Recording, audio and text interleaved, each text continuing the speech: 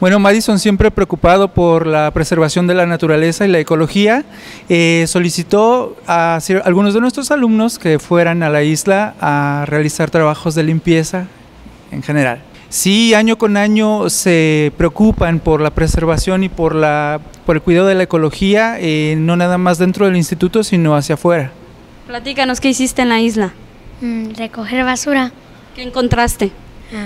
Pues de todo, bolsas de plástico, botellas, de todo. ¿Por qué lo hiciste? ¿Porque fue una actividad propia de la escuela y también porque te interesaste en el medio ambiente? Sí. Fue algo lindo porque fue algo sobre la naturaleza y estuvimos recolectando este, basura y pues encontramos botellas de cerveza y de tequila, que es algo extraño encontrarse en una isla.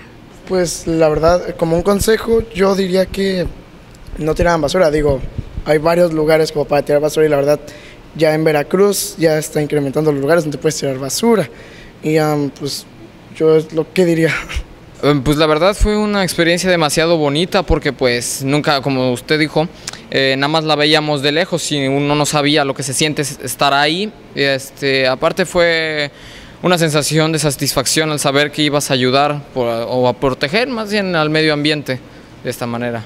El llamado es para que no contaminemos nuestra casa. Pues claro, para que no contaminemos nuestra casa, para que seamos más responsables en donde tirar la basura. Eh, pues sí, para eso están los botes, ¿no?